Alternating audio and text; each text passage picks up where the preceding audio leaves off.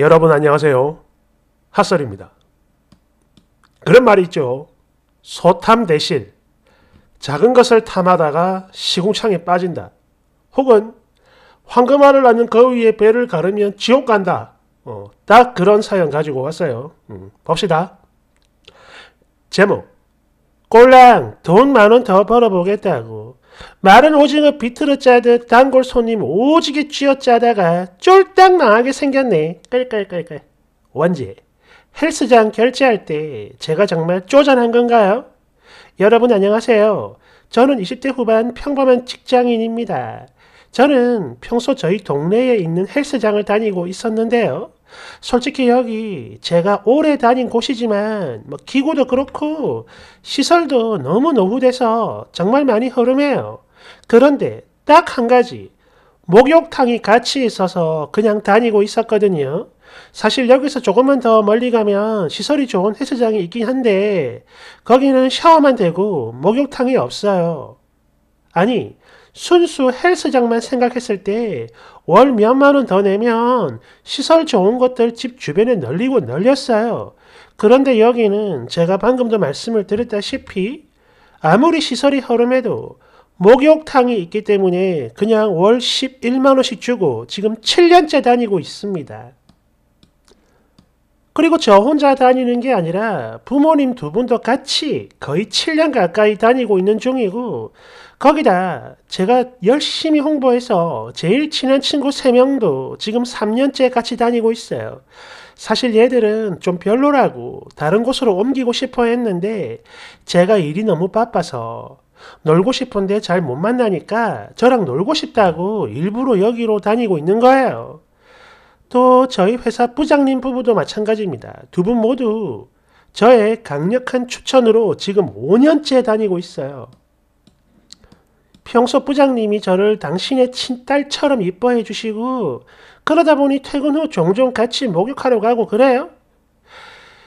여하튼 다들 저처럼 목욕탕을 좋아하는 사람들이고 헬스는 뭐랄까 좀 부가적으로 이용을 하고 싶어하는 눈치여서 그래 그럼 잘 됐다 싶어가지고 추천을 해준 거고요. 또 최근 몇 달 전부터는 제 동생과 동생 여친도 여기 같이 다니기 시작했어요. 참고로 얘들은 아직 어려가지고 제가 돈도 내줘요. 저희 부모님도 마찬가지고요. 이렇듯 제가 끌어들인 사람만 총 9명입니다. 저 포함하면 10명이죠. 그러니까 저를 빼고 계산해도 한 달에 100만 원이야. 이 정도 매출을 제가 올려주고 있다 이거예요. 그렇다고 이걸로 막 의시되거나 잘난 척을 하겠다는 게 아닙니다. 그냥 있는 사실 그대로 말하는 거예요. 특히 동생 커플을 제외하고 다들 몇 년 이상 장기 고객들이니까 그동안 제가 올려준 매출만 해도 그 금액이 상당하겠죠? 그리고 여기 사장님도 제가 홍보해서 그런 거라는 거 다 알고 있지만 그렇다고 저한테 뭐 할인 혜택이나 다른 서비스 한 번도 해준 적 없어요. 그리고 저 역시 이런 거를 단 한 번도 바란 적 없습니다. 왜? 나는 그냥 내가 좋아서 스스로 추천하고 다닌 거니까요. 여하튼 배경은 대충 이렇고 지금부터가 본문입니다. 제가 원래는 6개월씩 선결제를 하는 사람인데 바로 어제 결제 기간이 끝난 거예요. 새로 결제를 했어야 됐다 이거죠. 그런데 제가 그걸 깜빡하고 카드를 집에다 놓고 온 겁니다. 그래서 어머 사장님 제가 실수로 카드를 깜빡했는데 오늘은 그냥 입장하고 내일 대신 카드 가져와 가지고 오늘 날짜로 결제를 해드리면 안 될까요? 이렇게 물어봤더니 바로 안 된대요. 그러면서 그냥 1일권 만 원 내고 들어가라는데 솔직히 그렇잖아. 우리가 서로를 아예 모르는 사이도 아니고 무려 7년이야. 7개월도 아니고 7년을 꼬박꼬박 다녔던 사람인데 또 오늘 하루 뭐 공짜로 입장하겠다는 것도 아니고 내일 카드 들고 온다고 했는데 그게 그렇게 어렵나? 내가 겨우 이 정도였나? 이런 서운함이 확 밀려오더라고요. 게다가 사장님이 평소에 배즙이며 과일이며 목욕탕에서 여러 가지를 팔고 있을 때마다 매번 현금 내고 그거 사 먹었어요. 안 팔린다고 하도 징징거리길래 제가 막 여러 개 사가지고 같이 있던 혹은 주변 지인들이랑 나눠 먹은 적도 여러 번 있고요. 여하튼 계속 안 된다니까 할 수 없이 그냥 일일권 끊었고 목욕도 하고 나왔는데 아, 너무 서운한 거야. 그래서 사장님 아까 조금 서운했어요. 이렇게 장난치듯이 말을 했는데 이 사람이 딱 정색을 하면서 아니 젊은 아가씨가 왜 그렇게 쪼잔해? 딱 이러는 거예요. 사실 어, 이 사장이 남자인지 여자인지를 모릅니다. 남자인 것 같은데 아까 탕에서 목욕탕에서 뭔가를 판다는 거 보니까 여자인가 싶어서 이렇게 한 거예요. 오해하지 마세요. 음. 딱 이러는데 이때 진짜 기분 거지 같더라고. 그래서 밖에 나오자마자 바로 제 친구들한테 야 우리 앞으로 여기 말고 딴 데 가자 이렇게 말을 했어요. 친구들도 기간 지금 얼마 안 남은 상태예요. 조금 있으면 끝나요. 그러자 친구들은 바로 좋다며 평소 눈여겨본 곳이 있다면서 말 나온 김에 우리 거기 구경 가자 이런 말을 하더라고요. 기다렸다는 듯이. 그래서 알았다 했고요. 그리고 저희 부모님이랑 동생 커플은 제가 돈을 내주고 있던 거라서 기간 끝나면 재등록 안 하고 그냥 다른 곳으로 옮겨줄 거라고 그렇게 할 겁니다. 그리고 부장님도 그래요. 내일 출근하면 바로 다 이야기할 겁니다. 딴 데 가자고. 그런데 말이죠. 다 좋은데 여기서 딱 한 사람 제 동생 이 새끼가 에이씨 누나 아이 그 너무 쪼잔한 거 아니야? 별것도 아닌 걸 가지고 삐져가지고 다른 사람들까지 다 끌고 나가네 이러고 있습니다 이 새끼가 아니 여러분 이게 정말 쪼잔한 거예요? 7년 동안 꾸준히 다녔는데 이런 대접을 하는 거라면 제가 아니라 그 사장이 더 쪼잔한 거 아닙니까? 하, 쓰고 보니까 제가 그냥 완전 호구 새끼였네요. 7년을 그것도 사람을 9명이나 데리고 왔는데 이런 식으로 대하는 곳이 세상에 어디 있습니까? 안 그래요? 댓글 1번 맞아요. 끊어야죠. 근데 그 전에 동생을 먼저 끊으세요. 끌끌끌 2번 아니 동생은 뭐야? 지돈 아니라고 말을 저 따위로밖에 못하나? 여하튼 그런 취급받으면서 거기 다닐 사람은 아무도 없어요. 아니 아예 물건을 사고 파는 집이라도 그래. 이 정도 단골이 카드를 깜빡하고 안 가지고 왔다 이러면은 아이고 됐어요. 내일 주세요. 이런 융통성은요 말 안 해도 알아서 보여줍니다. 하물며 이거는 물건도 아니고 그냥 이용권인데 일할지야. 나라도 안 가죠. 대댓글. 아니 지 여친도 공짜로 다니게 해주는 누나한테 쪼잔하다 이지랄 끌끌끌 앞으로는 절대 두 번 다시 돈 내주지 마요 말 한마디로 천냥빚을 쌓는 그지같은 놈이네. 끌끌끌끌 3번. 네 맞아요. 저라도 빈정상에서 절대 안 갈 겁니다. 또 당연히 제가 소개해준 사람들한테도 다 말을 할 거고요. 데리고 나와야죠. 4번.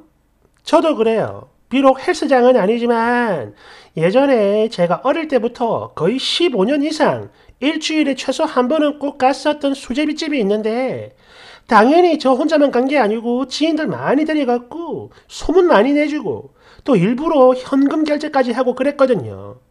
그러다가 언젠가 고추값이 한창 폭등 중일 때 저는 몰랐어요. 왜냐면 평소 장을 안 보거든요. 진짜 몰랐어요. 그럴 때 고추 다대기가 없어가지고 그거 좀 더 달라고 했는데 대뜸 아니 고추값 오지게 오는 거 몰라? 많이 넣지 마 이러는 거예요. 그것도 완전 정색하는 목소리로 크게 주변 사람들 다 들리게 해요. 네 맞아요. 저도 5만 장 다 틀렸고 그 뒤로 두 번 다시는 안 갔습니다.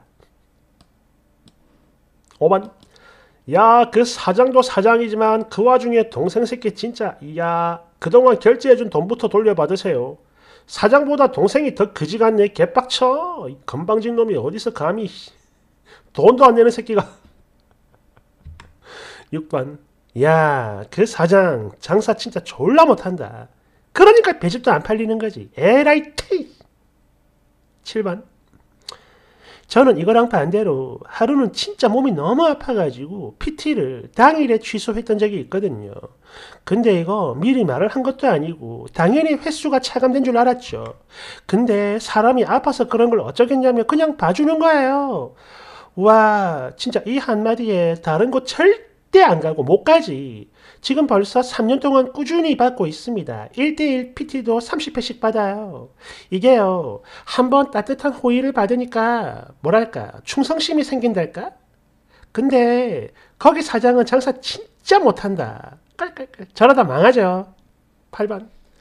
이거, 목욕탕 때문에 못 옮길 거라고 그렇게 생각하고 배짱 부린 겁니다.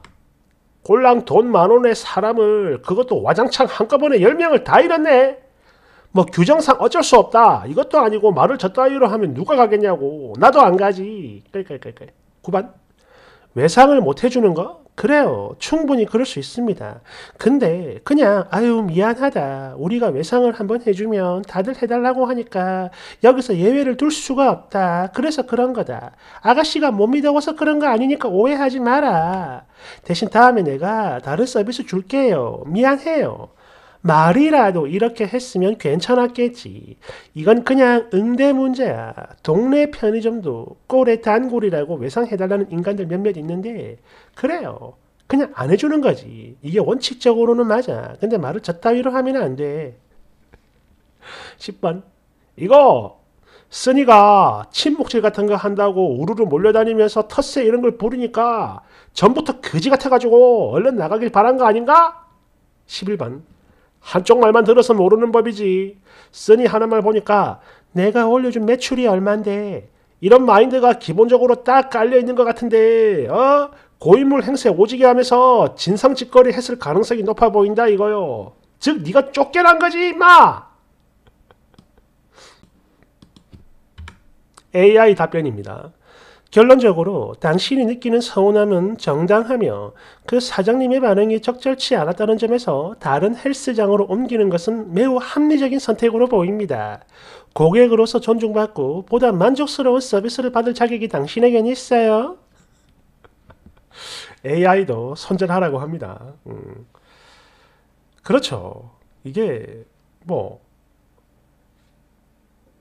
돈을 안 내겠다는 것도 아니고 7년이나 더 하는데 장사를 이렇게 하면은 그것도 공짜로 해달라는 것도 아니잖아. 어. 장사 이렇게 하는 거는 오래 못 가죠. 음. 물론 마지막에 나온 댓글들처럼 쓰니가 못된 사람일 가능성도 물론 있습니다. 왜 없겠습니까? 어. 근데 그래도 장사 저르면 자기 손해야. 진짜 개진상 아닌 다음에는 그죠? 음. 아무튼 그렇습니다. 이게 바로 소탐 대실이지. 감사합니다.